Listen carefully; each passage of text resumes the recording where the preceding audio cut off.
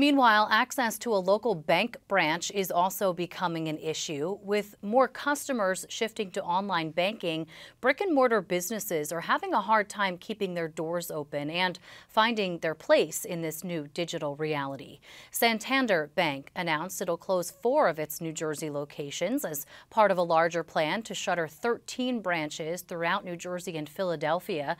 It follows a recent move by PNC Bank to do the same, leaving customers customers, especially in communities with high populations of seniors, feeling shut out. Raven Santana reports. Some people have to travel in Ocean County 10 miles to go to a bank, and that's outrageous. It just got a lot harder to find a bank in Ocean County after one third of the county's banks have closed shop. Joseph Vicari, County Commissioner, says the trend is most concerning because the community is home to close to 200,000 seniors, many of which suffer from things like mobility issues and visual impairments. We have 91 communities in Ocean County that have only senior citizens. We're worrying about the future right now. In 2020, U.S. banks set a new record for shuttering retail branches as more consumers bank digitally. In 2021, banks shattered that record by 38%. New Jersey saw a net loss of 134 banks in 2021. In New Jersey alone, we've had 16 in the last two years. So there have been 16 branch mergers and acquisitions, and, and we've lost a large number of those branches in Ocean County. PNC will be closing several of its branches in Ocean County in mid January. The announcement from PNC is the latest in a string of bank branch closings as banks expand their digital services and consumers make more transactions electronically.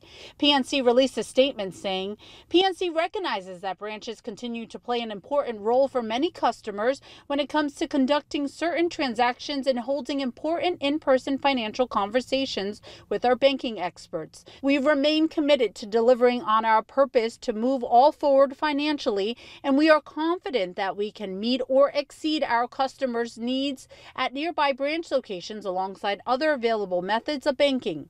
There's more money to be made. True, and I understand that. If you close the branch down, if you put up a, an ATM and have them service a different way. But what about part of, of the population of Ocean County, which is almost 700,000 people in the winter? In the summer, 1.3 million people.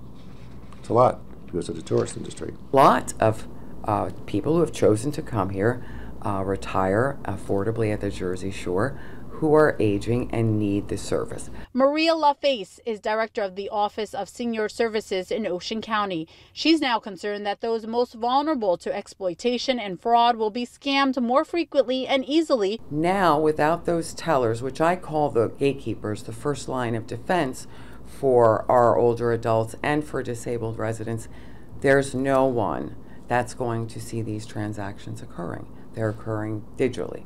So that's my big fear. LaFace says more than 50 brick and mortar banks have closed here in Ocean County since December 2022. That includes this location here behind me that was once a Wells Fargo. We originally started discussing this issue over a year ago we uh, found that 50% of all brick and mortar banks had closed in Ocean.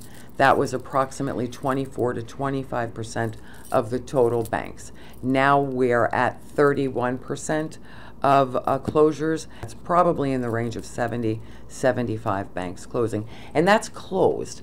We've got more coming. Applications are pending. LaFace says if the trend continues, the livelihood of residents, businesses, and the community as a whole are at risk. It's a very quiet, subtle, very little notice slaughter. Relying on ATMs and um, bank cards, there's fees associated with every one of those trends for the most part. LaFace and Vicari say while they have met with banks to discuss the issue, the situation has only gotten worse. Everyone I spoke with advocated for public hearings before a new branch closes. For NJ Spotlight News, I'm Raven Santana.